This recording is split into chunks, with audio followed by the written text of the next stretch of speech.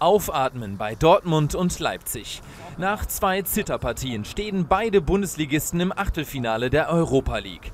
Nach dem 1:1 bei Atalanta Bergamo und dem 0:2 gegen den SSC Neapel lagen die Emotionen bei den Spielern irgendwo zwischen Enttäuschung und Erleichterung. Wenn du dann ähm, ja, gar keine Chance heute hast und ein schlechtes Spiel machst, dann bist du dann zufrieden. Da grübelst du erstmal, aber Natürlich, wir sind in der nächsten Runde, das zählt im Endeffekt. Erleichterung ist groß, definitiv. Also ich glaube, wenn man den äh, Spielverlauf betrachtet, wenn wir hier jetzt bis zur 80. Minute in einzelnen Rückstand äh, geraten sind und dann äh, jeder Spiel machen mussten, das ist natürlich ungünstig gewesen. Und wir haben sehr, sehr viel investiert und äh, haben zum Glück auch das 1-1 gemacht, um da auch eine Runde weiterzukommen. Der BVB rettete sich erst mit dem Ausgleichstreffer von Kapitän Marcel Schmelzer in der Schlussphase ins Achtelfinale.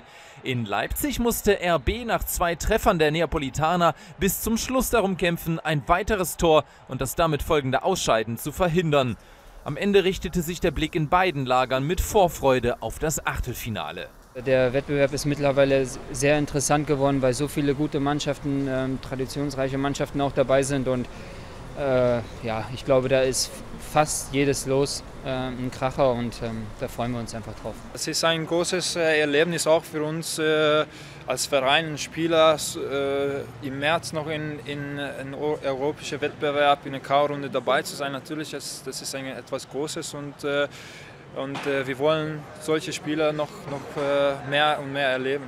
Damit die europäischen Titelträume beider Vereine auch noch bis zum Finale im Mai andauern, brauchen jedoch sowohl RB Leipzig als auch Borussia Dortmund unbedingt eine Leistungssteigerung.